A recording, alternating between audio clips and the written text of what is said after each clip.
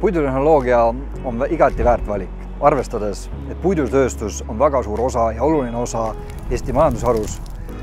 Ja kus kindlasti väärt insenere, äh, tehnoloogia ja ka juhte on kindlasti vaja.